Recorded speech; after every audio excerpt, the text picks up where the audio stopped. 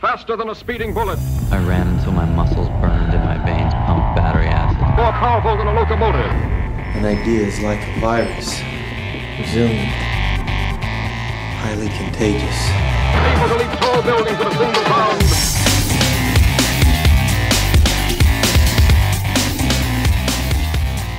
Hey guys, Jared Moon here from Into 3 Fitness, and today on the podcast we have Julie Morris. Very interesting conversation I had with Julie. It's really how superfoods can make you a better human, and she has a very interesting story of being technically vegan, technically vegetarian, but then uh, you know an Oreo she mentions is is a vegan food, but you know not really being healthy, and uh, this huge transition that she's had um, over you know from college all the way up until today. Uh, we just talk about how superfoods can really help you get back on track, can help you you know conquer that low energy or low recovery as an athlete. A lot of things. You've heard me talk a lot about micronutrients, and that's why I wanted to bring someone on the podcast who talks a little bit more about how to implement it. Get tactical with micronutrients and, and superfoods and how they can help you.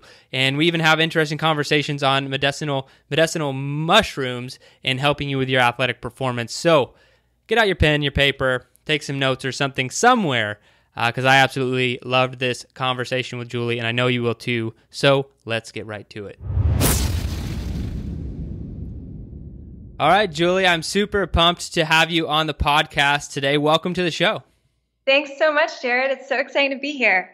Yeah, so everybody knows we get started right away with a couple of challenges and a book recommendation. Are you ready for those? Definitely. All right, let's start with a fitness challenge. So I'm going to go ahead and steal this directly from my movement coach, Alex Jamora, who's absolutely brilliant. And he always is telling me that if you hang out in a squat for 30 minutes a day, it will change your life. And I will totally admit, I'm not up to 30 minutes a day. It doesn't have to be completely unbroken. I'm probably like at a solid 15 minutes right now, but it has changed my life truly. It's totally changed my running. It makes me so much more flexible. I just feel better. And I could not agree more. This is such a natural movement that's missing from most of our day to day lives. So it's absolutely imperative. And I, I absolutely love that challenge. When I used to coach a lot more in person and everything, at the end of every session, uh, depending on how much time we had left, I would make all of my athletes do whatever time was left in the bottom of the squat, whether that was three minutes or five minutes or 15 minutes. Um, and it was always really painful. Uh, not everyone get it the full time, but I completely agree. It's, it's an amazing thing to work on. But that's kind of the exciting thing too, is that I know that when I first had to do it, I was like, this is impossible. Like, this cannot be natural. Yeah. Which is like the worst thing you could say ever. Uh, but it does get a lot easier and uh, actually a little bit more fun. Right, and in other countries, that's like how they hang out. They're like, you know what? I feel I feel like chilling. I'm gonna I'm just gonna hit hop in the squat position. Totally. All right. So how about a mental toughness challenge? So mental toughness challenge. This one's kind of interesting. Um, I'm going to go with just the simple act of memorization, and I know that memorization kind of has a bad rap. Most of us assume that it's associated with schoolwork, you know, cramming for tests or like flashcards or something that's just kind of mundane.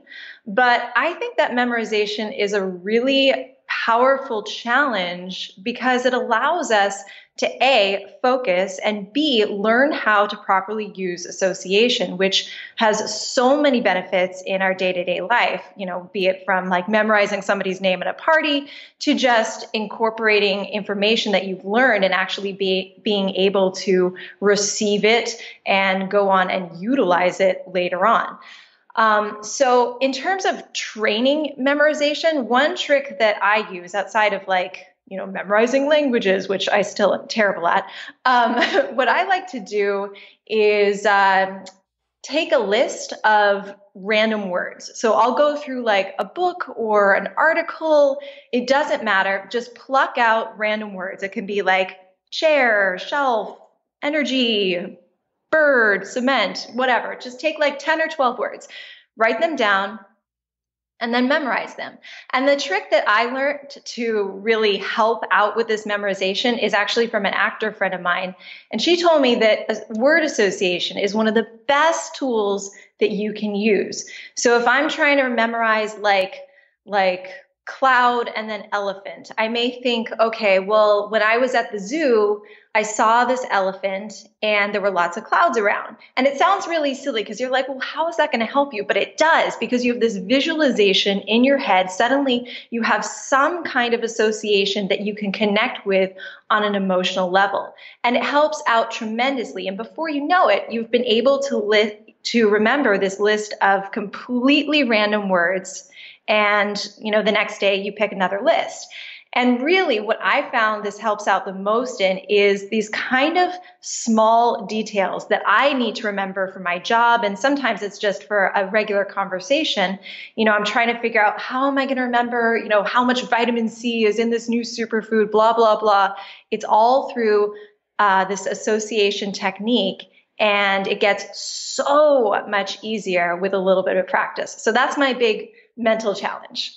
I think that's awesome. And so you're primarily u- utilizing uh, your memorization techniques kind of to improve your performance in your work, just like being more knowledgeable and being able to recall things quicker and, and better and clearer. Absolutely, but it also helps in social situations too. I mean, seriously, I'm the I'm one of those people where like, you know, I meet you and I'm so excited to meet you and like shake your hand, and then two seconds later, I've completely forgotten your name. Right. And so having having I know your name is Jared. Don't worry. Okay, um, good. I was gonna quiz you. but I've been practicing, you know, like so so having this little bit of association, you know, if I'm meeting somebody and I'm like Diana, okay, her name is Diana. Well, my aunt's name is Diana, so now I'm thinking about my aunt. It doesn't matter what that association is. It can be totally random as long as you put something there to kind of fuse together this otherwise bit of of random information. So all of a sudden you know that like two days later, you're going to remember this person's name. And I feel like that's like a really exciting little trick. Yeah, I think that's awesome. Something I need to work on for sure because I know I'm the same way. Yeah, I meet someone new for the first time. Uh, yeah, you walk away 10 seconds later. I'm like, oh, crap. Uh, yeah, it's like, where, uh, where did it where? go? All right. So thank you for that. I think that's awesome. Uh, really cool um, challenge there for mental toughness. Uh, and how about a book recommendation? Well, there's gosh, there's a lot that I'm reading right now, but um, a book that I just finished recently was The Power of Habit by Charles Duhigg. I think his last name is pronounced. I'm sorry, Charles, if I mispronounced your name, but we'll call him Charles Duhigg. Um, it's such a great book. I really loved it. It just really enforces why habits in and of themselves can be so valuable on a day-to-day basis and not just for you know, maintaining a healthy lifestyle, but how they can really clear the path for extra creativity and avoid decision fatigue, which I love. I mean, if there's one or two things less that I have to think about on a day to day basis, and that suddenly opens up the door for what's the title of that next chapter that I'm writing in a book going to be? You know, I'll take it. Absolutely. I truly believe like creativity is a finite commodity on a day to day basis. And so it's really, really important to protect that as much as possible. And creating new habits is a wonderful way to do so. Yeah, I agree. I think uh, I have read that book. That's a great book. Um, I think it's a phenomenal recommendation. Um, are there any habits that you're working on creating or getting rid of right now? Um, nothing I'm really trying to get rid of. Um, probably the biggest habit that I'm trying desperately to create is meditation. And for whatever reason, I've always struggled with keeping that habit ongoing. The best that I've done with it is to push it into a very specific time slot in the morning and before anything else happens so that I really don't have much of an excuse. And, you know, to be fully honest, I still often make excuses like, oh, I'm too tired, or oh, I'm hungry, or whoa, you know, like I, I slept in a little bit.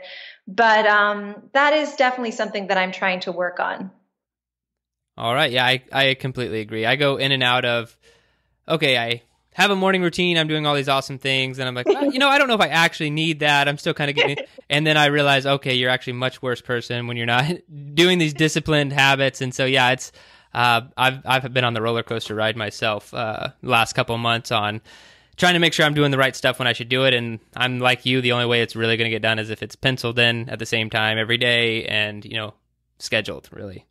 And one thing that I, that really does help is I make these things called morning lists every morning. And I'm a big, big checklist proponent.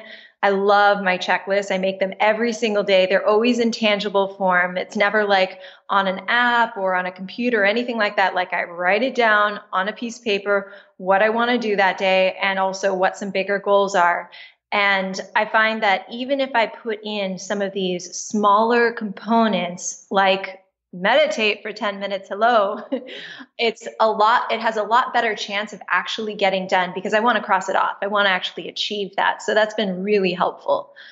That's awesome. Having a little uh checklist uh, party at the end of the day or whatever so you can you can get things done. You know there's a lot of psychology behind that. I've been listening to some jim rohn stuff talking about writing down every goal whether massive or small. He's yes. like he's like because the best part of having a list is marking it off. You know, and I, I think that's yeah. so true. If I have to go to the mailbox, I'll put go to the mailbox. I'm like, I did it. uh, that's awesome. All right, Julie, thank you so much for the challenges and the book recommendation. Uh, I would love to help my guests uh, better get to know you, your background, and, and what you're doing now. So take us back really as far as you need to um, whether that's birth to now or or wherever you you know you kind of started to develop your passions in superfoods and cooking and all of that stuff. Uh, wherever you'd like to start. Well, my story really does begin in college. So I won't take you all the way back to birth. I'll, I'll skip a couple of decades, but um, I will take you to college when, uh, you know, I was really trying to do the right thing. And I was a vegetarian and I just become a vegan.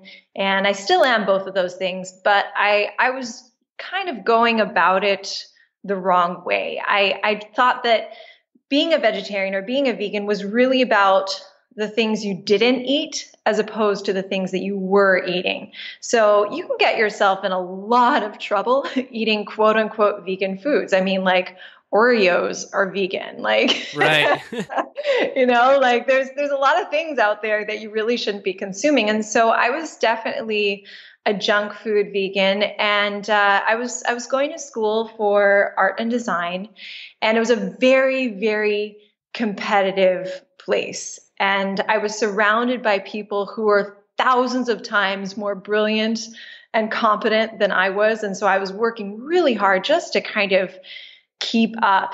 And um, being somebody who is naturally competitive and who's naturally an overachiever, I definitely was working myself into the ground. And I didn't have the nutrition to back up my poor sleeping habits. So I was consuming a lot of energy drinks, coffee and Red Bull, and just like all kinds of weird carbonated things, and just caffeine on caffeine upon caffeine. And then I was eating a lot of sugary foods, and I just, I really thought I was invincible and didn't know what I was doing.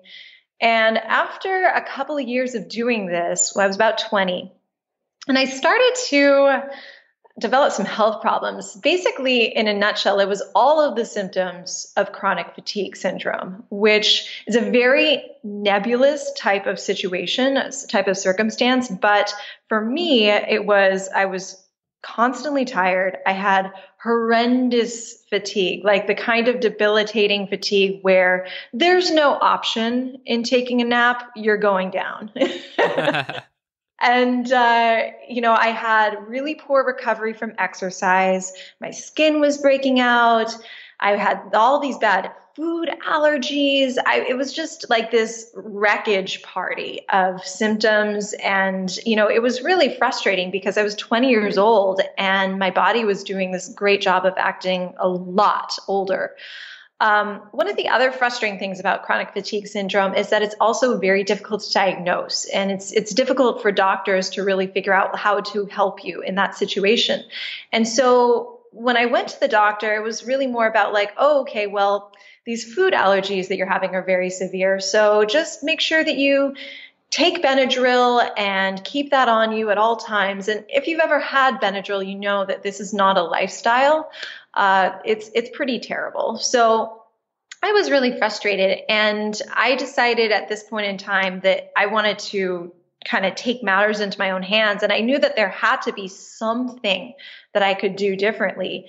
And so growing up, I'd always been this major foodie. And like, I literally watched Julia Child cooking shows instead of cartoons when I was five years old and would always go into the kitchen with my mom, helping her make things. Loved going to the grocery store, just have always been interested in food. And so I had this idea, this crazy idea that maybe there was something I could eat that would give me energy. And which is like sad, really, when you think about it, because like that's kind of why humans or any animal eats in general. Like that's the purpose of eating is right. energy. but for me, this was a novel idea. And so I started to research energy foods. And this is like many, many years ago, over 15 years ago. And so you couldn't just like go down to your local Whole Foods and go to their superfood section. Like none of this existed. So I was looking up online and I, I, I found these things called superfoods couple of them I had heard of before, like blueberries and walnuts and things like that. But there was this whole collection of them that I definitely had never heard of before and, you know, didn't even know how to pronounce half of them. And they were from all over the world and each one had these amazing stories and had been used for thousands of years and had all these medicinal benefits. And I was fascinated. I just thought this was the coolest thing. So I decided on my very meager college budget to get two superfoods just to like test them out, see if they worked. I had nothing to lose. So I got goji berries and I got maca root and I ordered them online and they came and I had no idea what to do with them because there's no recipes on this stuff, you know, like there's barely a dosage on how you take these things.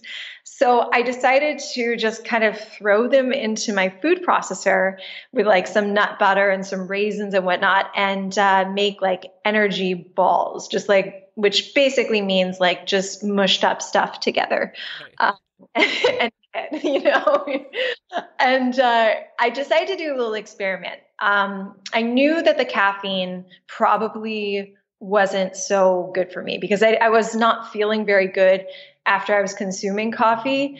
And frankly the coffee that i was drinking had lost its effect. So i would drink a cup of coffee and it wouldn't do anything anyways. So i just my experiment was no caffeine for a month all about the energy balls. Let's see what happens and really, what I noticed was after a couple of weeks, two things.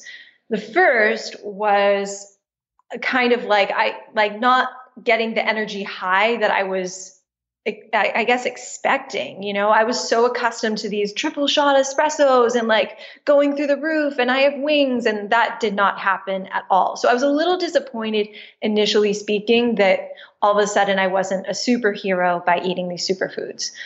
But at the same time, I also noticed that I was now no longer having these energy lows. So I wasn't getting like this extreme fatigue in the middle of the day. And I was having a lot more mental clarity and I was feeling a little bit better after I exercised. And all of a sudden, before I knew it, I was starting to feel just balanced in general.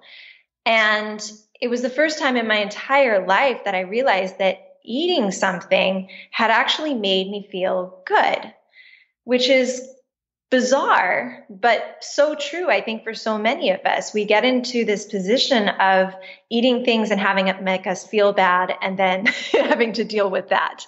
Most of what we eat all the time is kind of in that category of either like neutral or it made me sleepy or it made me bloated or it gave me a headache or it made me fat or like all these negative things. And here was a circumstance for me where I was like, this made me feel really, really good. This made me feel amazing. And so it just opened up my eyes to the potential around healthy eating and what superfoods could do. And it was right around the same time, you know, I again, I loved cooking and I all these cookbooks that I had amassed, this whole huge shelf. And I remember just looking at this cookbook shelf and thinking, why are none of these ingredients used in any of these recipes? Cooking has been around for so long and it is so archaic. It is so antiquated. It's still preaching this like butter and bacon and sugar and white flour. And yeah, these things taste amazing, but they're not doing us any favors and we know better. And so I started to become initially curious just for my own sake of how to use these superfoods, how to treat them as foods, as ingredients. And I started to develop recipes for myself and started to share them with people around me and got such positive feedback that I started to look into essentially working with companies who were providing these superfoods and helping them get their recipes out there so that other people in my position could know what to do with these ingredients in the first place. And so my work as a recipe developer and a chef started not to make a pun but very organically. And it was just you know working with really cool companies who had really amazing products many times the first time where you'd see this product even the in the United States and helping them communicate to their customers how to use all these amazing foods. And then I just developed this total passion with it and took it took off from there and i became a bona fide superfood chef which is super random and totally gets me the weird looks at parties still but that's that's genuinely the best definition of what i do I think that's awesome. Thank you so much for uh, you know going in depth there. I have a lot of questions and stuff to follow up on, uh, but I, am curious bringing bringing all the way up to today. Uh, so superfoods are important what are you doing on a daily basis? Like, how many meals per day would you say that you're having that has, you know, superfoods in it? Honestly, most.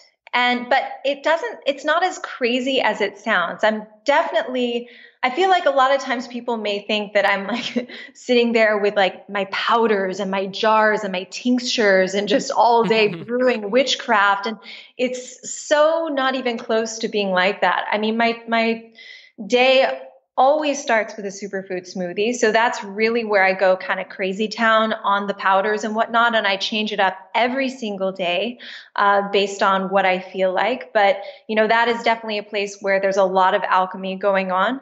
But beyond that, you know, there's so many superfoods which are A, very easy to use, and B, everyday ingredients. So things like chia seeds or hemp seeds, like they're so easy to throw on everything. so if I'm having a piece of avocado toast, I'll put some hemp seeds on top. Or if I'm having a soup, I'll mix in some chia seeds in there. It's just super, super simple. I also am a huge snacker, especially being a chef and a recipe uh, developer and tester. Um, I work with food all day long. So I have to stay relatively, I don't want to say hungry, but not full. I can't get full. Right. otherwise, otherwise, I don't want to work with food anymore. Otherwise, nothing sounds delicious. So I usually snack a lot throughout the day and eat a lot of light meals. I'm constantly grazing. So that means that there's a lot of trail mix going on. There are a lot of like little bars and bites of things that I make. And they're a lot like souped up versions of those hideous energy balls that I made the very, very first time. It's just that now they taste a lot better. yeah, you refined the process. yeah, exactly. I've worked on it since then. and then, um, you know, at, at dinner time and whatnot, I always have a very vegetable rich dinner. So there's lots of greens going on in there. There's lots of cruciferous vegetables, fermented vegetables, and I'm always looking for basically little ways to upgrade whatever it is that I'm making, even if I'm going out to eat. You know, instead of having whatever salad dressing they're throwing on there, I'll just get some olive oil and some lemon and salt and pepper. It tastes delicious. And, you know, that way I avoid maybe questionable ingredients and I get vitamin C from the lemon and I get the monosaturated fats from the olive oil and go, the list goes on and on. So it's more just kind of this this very organic process of like little upgrades throughout the day. I think I definitely want to check out your superfoods smoothies book because I do. I think it would be a super smooth superfood smoothie that I do in the morning right now. Um, but I've been doing the same thing for like a year, and I like need to I need to mix it up. And I'm not creative at all. I just know all these things are good for me, so it all goes into one uh, one big blender. But man, I need to I need to get some variety in my life. Well, smoothies are one of the easiest ways to incorporate superfoods in general, and they're also one of the most fun because you can create such incredible flavors out of truly natural ingredients without any fillers. So a lot of times, you know, like with baking, for example, how many extra things do you have to put in there just to get that chocolate flavor? There's, you know, the butter and the sugar and the flour and the cream and blah, blah, blah, blah, blah, just to get a chocolate souffle. Obviously, chocolate souffles are delicious. Nobody is arguing against that. But with a smoothie, you can get the flavor of a chocolate souffle, except all of a sudden it's made out of some of the most medicinal superfoods on the planet. And you don't, you can uh, completely circumvent all those negative ingredients at the same time. So, uh, like the Superfood Smoothies book is a really fun base for people to start out and see just what kind of potential a smoothie has, both in terms of nutrition as well as in terms of taste. And is there a superfood that you have you said kind of when you started it wasn't it wasn't this like amazing rebound, but you noticed you got you got a lot more balanced. I think was the word that yeah. you used. Um, is there anything today that you're seeing like one one particular superfood that you know you want to be a big part of your life or n- have a noticeable change or effect when you are uh, consuming it regularly? Um, well, one of the superfood groups that I've been playing around with in, in I guess the past like year or so, more and more, is really in the realm of medicinal mushrooms. I think that medicinal mushrooms are our future. and uh, I think that there's just so much potential within this class of superfoods that's yet to be tapped into. There's a lot of studies around them as well, which makes them fun to talk about because we actually have a little bit of science to back things up.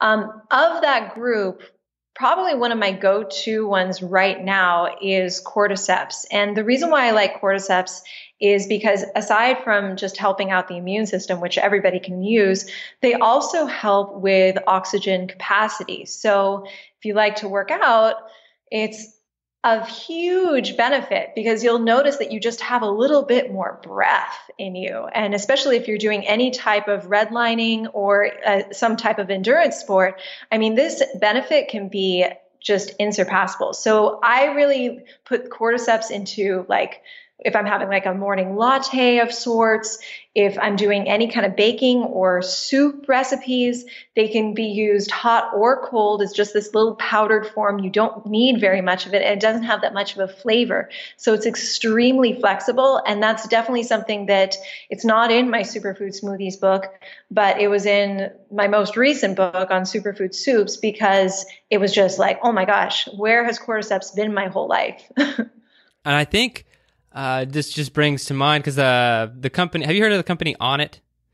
No. Uh, so that's a they they're very uh, it's a supplement and equipment supplier company. They're based out of Austin, Texas, um, but they have very uh, quality supplements. But one of them, and I think it's very interesting because I wouldn't have known this uh, and, until I tried their supplements. They have a supplement pre workout supplement called Shroom Tech, which I believe the science and everything based behind it is what you're saying the cordyceps um, they have in this supplement, which I think is uh, really cool because I've never heard anyone ever talk about it. Like you were just talking about that. Um, and so where where do you purchase them, or do you buy it in supplement form, like how I would get the, get it from this company Onnit? Yeah, you you you buy them in supplement form. So you know, most people aren't growing cordyceps in their backyard and uh, they are relatively difficult to grow. So the easiest way to get them and use them is in a powdered form. And if you have a local market nearby that sells a little bit of superfoods, has a little superfood section, uh, chances are they have some medicinal mushrooms within that selection as well. If you can't find them there, I say just go online you know, Amazon or any online retailer is going to have it for sure. And that's how I get a lot of my superfood ingredients. That's awesome. And do you have a particular, if you don't mind sharing, particular brand that you like if if people were to I order do, online? I do. I love this company. It's called Om Mushrooms, O M Mushrooms. And uh, what I love about them is I love companies that specialize in what they do. And Om Mushrooms just does mushrooms. They actually grow their own mushrooms in Southern California. They harvest them, they process them, they do everything right there on site. Their everything is 100% organic and they have all these really great formulas in addition to their single selections. Uh, so they have, you know, you can buy just the cordyceps, you can buy just the chaga or the reishi, or you can get these these really great formulas that they have like they have a beauty formula or an immune boosting formula or a fit formula. They even have an energy formula that has a little bit of yerba mate in it and a special blend of mushrooms which i've been using before workouts and it's fantastic. That thing gets you going. That's awesome. And what's funny, what's funny and great about this podcast is so this this company OM Mushrooms will have OM Mushrooms will have uh, a cor- uh, a customer shortly after this podcast is over because I get to talk to all these great guests and then any recommendations they have, any companies they think I should use. Like I'm like a guinea pig throughout this entire process. Anyone who recommends something, just trying to find, uh, you know, a little bit of expertise from each person. And now my day looks like, uh, you know, like one percent, uh, you know, Julie Morris's recommendations, one percent someone else's recommendations, uh, and so it's a lot of fun for me, and that's why I ask specific questions about brand because I know you've already put in the research and the time to find a great brand, so I'd love to, you know, support the same thing. That's really cool. Absolutely. No, I, I really believe in them and I'm very selective with the, the brands that I work with as well. And there's lots of great brands out there who make mushrooms, but I know Om Mushrooms personally, I've worked with them for the past couple of years, just, you know, working with their, with their mushroom blends in my own recipe testing. And so I know their product line extremely well and have been extremely impressed with it. All right, so I want to go back to chronic fatigue syndrome because um, I, I think a lot of people. You said it goes undiagnosed, right? And I think a lot of people could probably struggle with this, or really, if their diet just isn't that great, uh, probably starting to feel or feeling some of the symptoms. And I think uh, a lot of people go through kind of the, the process of what you said is they, uh, and it sounded like you were eating pretty healthy. So some people are healthy-ish compared to, let's say, just some Americans would be eating, you know. Um, and so I think uh, it's really cool to, you know, get the recommendations from from you on where where should people take their first step if they are their diet's just crappy and they want to start, you know, down this path of superfoods. What would you recommend that they do? Well, the first thing that I would really recommend is just an overall mindset. Um, I know a lot of times, especially in modern day society, we are absolutely cannonballed by diets and detoxes and lists and lists of no foods and then you turn on the news and you know is cabbage the new cancer causing food? And it's just it's so ridiculous and it's fear promoting and I really like to focus instead of all the foods that you shouldn't have or you can't have, rather focus, uh, have an inclusive approach to the, fo- the foods that you should be having. And so I think having that, that mindset of, okay, this week I'm going to start incorporating X superfood into my diet and see how I feel. And, you know, maybe that's like, I'm going to have two bunches of kale per week. That's where I'm going to start. And start to put that into your salad. Or you know if you're making some sort of a main meal like a pasta sauce you can put it into the pasta sauce. Like work it in however you need to work it in. Throw it into your sandwich. Doesn't matter. Your smoothie. Work that in. Start there. The next week start with something else new. Learn about it. Figure out what makes it so beneficial for your body. Have some conscientious awareness around what it's doing for you and learn about how to use it.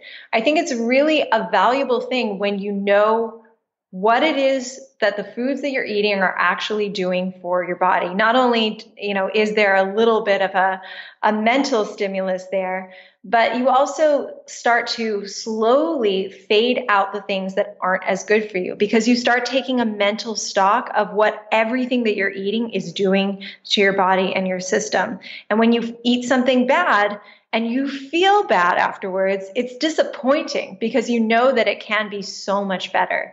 So having this inclusive approach, doing that research, you know, going out, you know, listening to podcasts, buying a book, doing research online, whatever it is, wherever you're getting your information, just getting a little bit hungry, so to speak, for living better.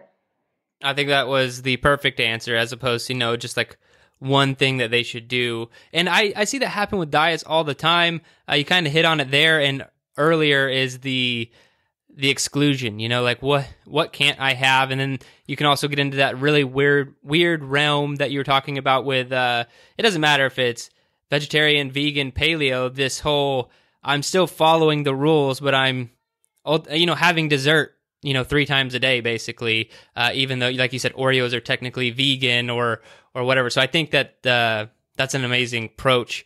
Uh, and it's it, really it's a really dangerous uh, situation to be in as well because let's face it everybody's different. Whenever whenever i read a book or hear about a diet that basically says it's my way or the highway i instinctively know that this this is somebody who's trying to protect their brand and not actually going after the world of wellness as a whole. We are all different. I'm a vegan. I've been a vegan for oh my gosh like 17 years something ridiculous. But it works for me I know it doesn't work for everybody. I do believe that having more plant-based meals does work for everybody, but you know, everybody is going to be a little bit different.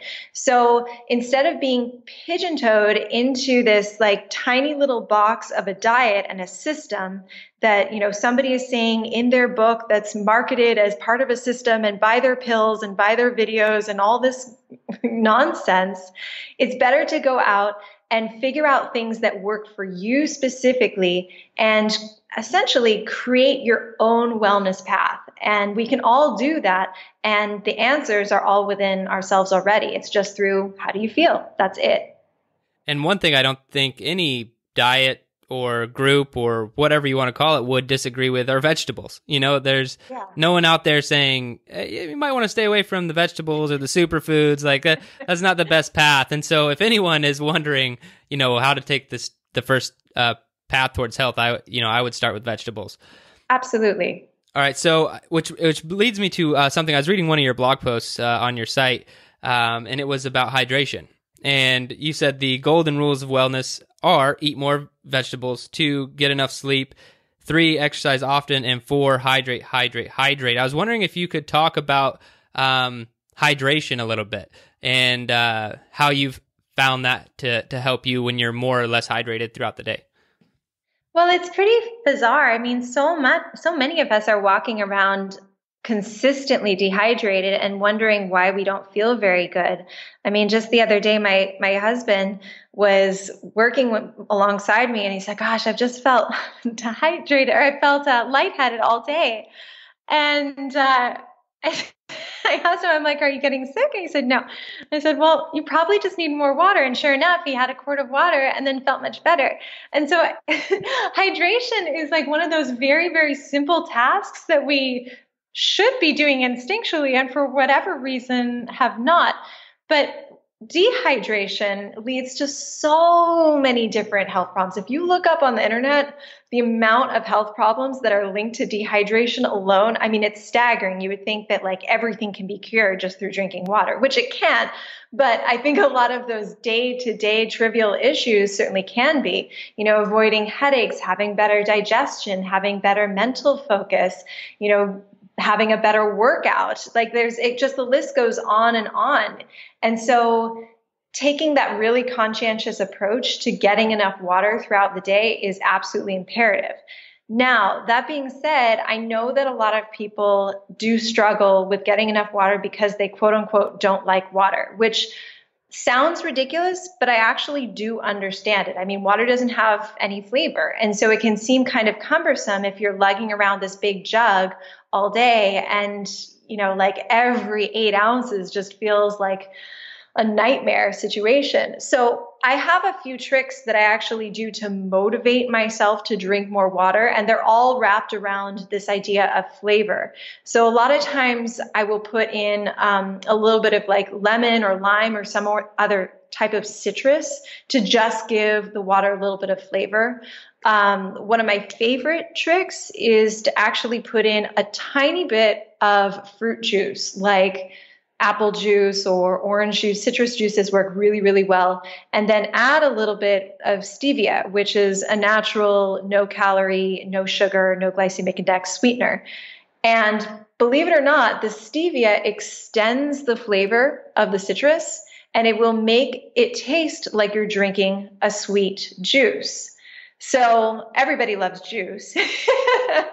and it's most of our dreams to be able to like chug down like 16 ounces of orange juice, even though please don't do that. Like it's way too high in sugar. but this is a really great way to kind of marry what your taste buds want and also give your body the hydration that it needs without that sugar impact. That's a great tip. I know I, if I'm not actually tracking or have a water bottle, um, my thought process, and I think a lot of people have the same thought as, you know, I think I'd, I'd probably drink plenty of water, you know, like throughout the day. You just think that, but the, if you were to actually go out and track, and I, you know, challenging the listeners here, track how much water you're doing. It's pretty easy. There's like a million apps that could do this. You just enter it in. Because uh, I started tracking water and realized, oh wow, I'm not drinking near enough water each and every single day. And then when I'm not tracking or not thinking about it, I mean, I have no clue. I'm probably drinking a quarter um, of the amount of water I should each day. So it's something that I know I have to stay on top of if I want to be hydrated. Uh, do you find that ch- that same challenge for you? Yeah, absolutely. Um, something that also is very helpful too is if you just do get a quart sized water bottle, and then it's very easy to see like you need to be drinking at minimum two of those a day. So you fill it up twice and it's either gone or it's not and that's that's the end of the story. But the crazy thing is is that by the time you actually feel dehydrated, you're super dehydrated. So if you've ever stood up and felt a little bit lightheaded, that means that your body is in desperate need of water. We should never be getting to that point in time. But you know, whatever works in terms of of helping motivate to drink more water, and kind of like we were talking about in the beginning, the power of, of habit, getting into that habit, getting into that system of okay, I'm going to wake up, I'm going to have 16 ounces of water. At lunch, I'm going to have 16 ounces of water. By the time we hit five o'clock, I'm going to make sure that I've had at least a quart and a half total throughout the day, so I only have two more glasses before bedtime and you know making that a little bit of a system so that you don't have to think about it quite as much. And on the liquid topic did you ever reintroduce stimulants or caffeine back into your diet after you kind of took it out I actually did, believe it or not, which I think surprises a lot of people uh, because it comes across as like so anti coffee and so anti caffeine. And what I learned, again, like we were talking about, is that everybody is a little bit different. Turns out that I don't have a great reaction to caffeine in general. My body doesn't seem to like it very much. So I keep it at a minimum. I love the taste of coffee. So I definitely don't want to go the rest of my life without ever drinking that again. And decaf just seems silly to me. But uh, right. what I do is what I do is, you know, maybe like once or twice a month, I'll just treat myself to some coffee and I won't have any other caffeine throughout the day. And that seems to be absolutely fine. I also use uh, matcha tea a lot. I love matcha. It doesn't seem to have the same effect. It has a very minimal amount of caffeine in it. And that seems to work really well with, with my body. I'm not anti caffeine. It's more about just being able to get your energy from your own body through the fuel that you put in as opposed to a stimulant which is just borrowed energy you have to pay it back at some point Yeah, and that's the the terrible cycle that people get into, or stimulants to get revved up in the morning, and then depressants at night to get down. Whether that's a glass of wine or whatever it is, in this vicious cycle, never actually realizing, just band aiding over your poor poor nutrition uh, without ever throwing in the micronutrients. Um, so I, I do want to ask: Has your line of work impacted? I don't know, say the way uh, your husband eats or does things, or your family in general? Um, how how has that been? Yes, it definitely has. Um, my husband is German, and he came over to the US about 10 years ago. And he absolutely loves pastry and he loves traditional German food. He doesn't drink very much, but everything else is, is all game on. And so when we met, the only healthy thing that he was really doing was he was making a smoothie every day, but he, he was making this total bachelor smoothie. And I think we've all made this smoothie before at some point where you just kind of throw everything that you've ever read about being good for you into the blender and see what happens. Yeah and it's it's kind of gray in color and it tastes terrible and you get it down and you're like i did it so that was his big insurance packet and um, i think since since we've been together, you know, he's really opened up to the world of vegetables more than anything, the world of fresh foods, and has really seen that you don't need a lot of the quote unquote traditional ingredients and foods for your recipes to taste absolutely amazing. And he's also gotten really addicted to feeling good after eating. Like when we have dinner, nobody's sitting there in the chair afterwards rubbing their stomach going oh my gosh i never want to eat again. I need to lie down. You know that never happens. It's always a feeling of like that was great what are we doing now? There's no fatigue that comes after eating ever. So i think like it's it's been a very slow moving approach. I've never tried to force anything upon him or anybody for that matter. It's more just like here are these cool foods here are these cool methods and this is what you can this is what they can do for you. And that approach alone can be very addictive in the best sense. What's your take on you know, there are a lot of supplements out there, um, micronutrient or greens supplements. What are your your your take on those kind of uh, supplements?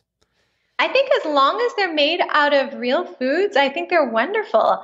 I actually use a lot of the green powders myself. Um, I love juicing, for example, but I often don't have time. And uh, so I will use, especially when I'm traveling, I'll use green powders to just put into my water bottle or to put into a little on the go smoothie to kind of get that extra green boost without having to actually bite down into a big salad or have a green juice, etc. So I think that as long as they're not watered down with fillers or sugars or, you know, fake vitamins, artificial ingredients, colors, all that stuff, then it's fantastic. It's at the end of the day, it's food.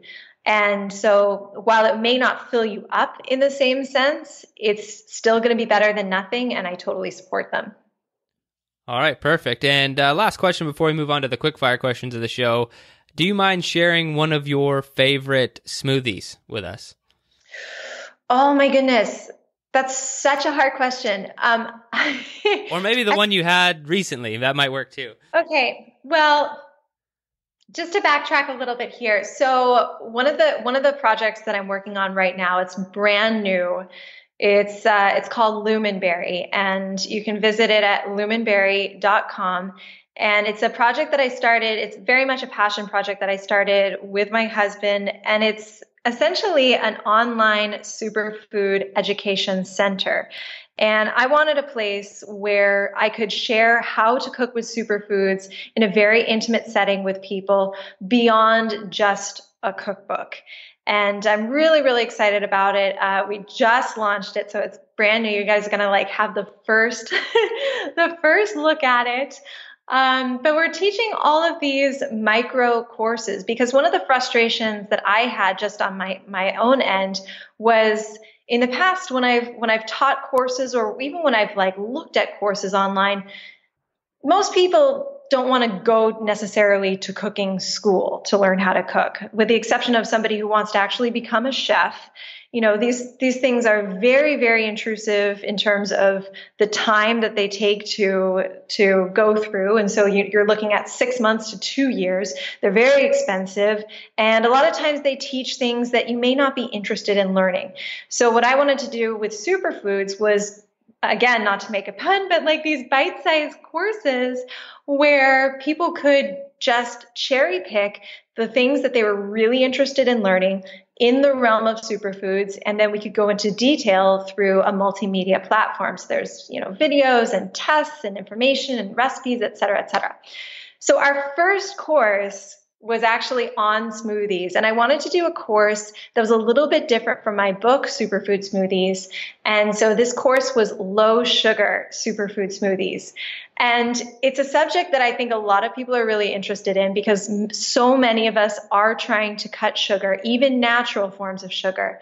And so I really wanted to go into this and see just what we could do with a smoothie and take that flavor level to the nth degree without, you know, sacrificing absolutely anything and without using a lot of fruit or any other types of sweeteners.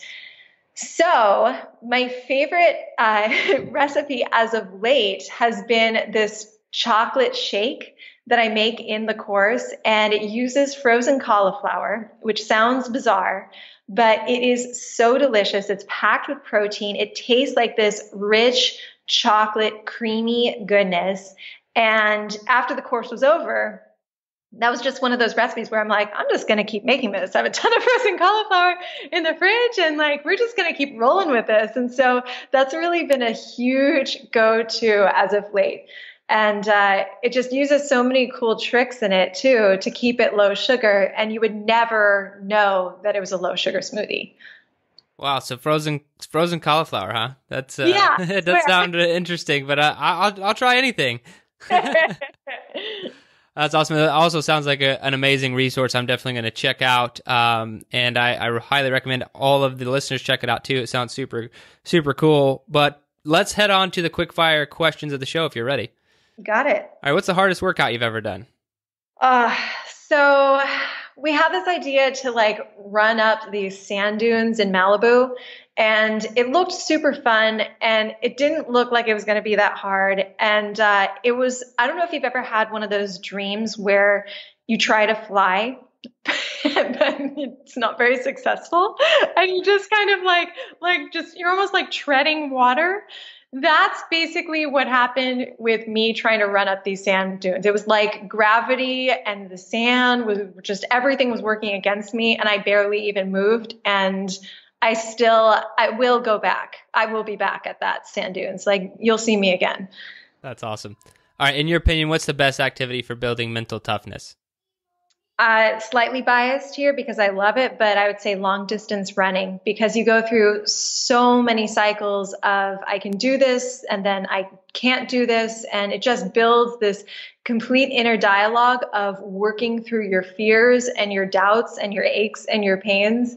And I feel like almost any challenge in life can be strengthened if you've gone through that process of long distance running. I agree. I know that pushes me. Uh, I'm not an endurance athlete, but I like to get out and do endurance events every once in a while just to get outside my comfort zone. And that's exactly what it does. Totally. And it's really cheap therapy on top of it. yeah. All right. If you could only have one piece of equipment to train with, train with for the rest of your life, what would it be? I would have to say a healthy, injury free body. Awesome. Just that in and of itself. You don't need anything else. I think that's great. All right, the question of the show What is the best advice you have for becoming a better human? 100% open ended. Well, my instinctual answer to that would be just don't stop trying to become a better human um, in general. but um, if we were to drill down a little bit deeper than that, I, I think that there would be two pillars to really living your best life. And the first would be gratitude, and the second would be growth. I think that if you can practice gratitude on a daily basis, you are going to be so much of a happier person and so much of a more successful person because at the end of the day, the more grateful you are, the less room there is for negativity, for boredom, for anger, for all of those bad emotions that can come in and, you know, sabotage whatever it is that you're working on in your life. So gratitude is absolutely huge. I also think that growth is absolutely paramount. And, you know, there's there's no reason for having that feeling of gratitude to equal something like complacency. It's more about having gratitude and thankfulness for what you have currently and wanting to do even more and wanting to put out even more. And so, you know, looking for ways to excel on a day to day basis from training your brain to adding an extra handful of greens into your smoothie to learning a new language to writing out a the business plan for your dream company. I'm just a big believer in dreaming big and taking action. I think that's awesome. I also like the first answer too. Um, I think they're all great. I know I, I was on a podcast, I was being interviewed on a podcast recently, and they knew about how I asked people this question. Um, and he flipped it on me. And I, I kind of said what you said, and I was just like, a lot of people are trying, but everyone needs to try harder and yeah. and, and stop you know don't stop trying and I, I, just simplified it down to that which is basically the exact same answer you gave and i think that's uh, at the beginning but gratitude and growth 100% in agreement with that too i think that's awesome so I, i'm sure a lot of people are going to want to check out your books and all the stuff that you have going on so what's the best place for people to learn more about you and what you have going on well you can find me personally on my website at juliemorris.net and you can find out all the new stuff that I have coming out at luminberry.com. And that's L U M I N, berry as in berry.com.